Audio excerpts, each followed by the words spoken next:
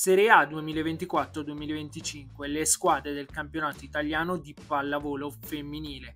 Andiamo a vedere l'Oliviero San Bernardo Cuneo.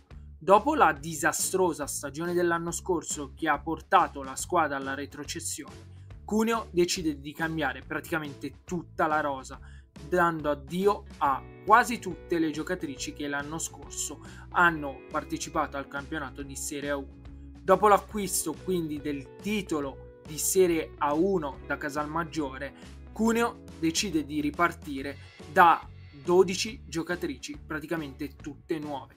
Le giocatrici che arriveranno nuove saranno coordinate dal grande allenatore Lorenzo Pintus, che è pronto dopo la stagione di Casalmaggiore a dirigere le nuove sue giocatrici cercando di conquistare la salvezza che l'anno scorso invece è sfuggita con centrali molto interessanti, tutti italiani da tenere d'occhio, con Tessa Polder e Anna Biel le più esperte.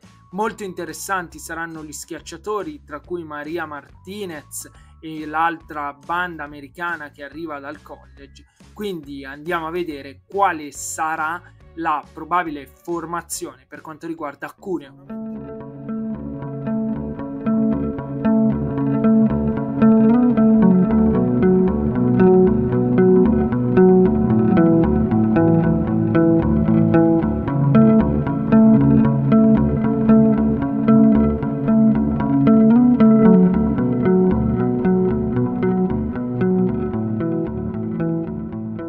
Non vediamo l'ora che la Lega Volley Serie A di pallavolo femminile italiana abbia inizio.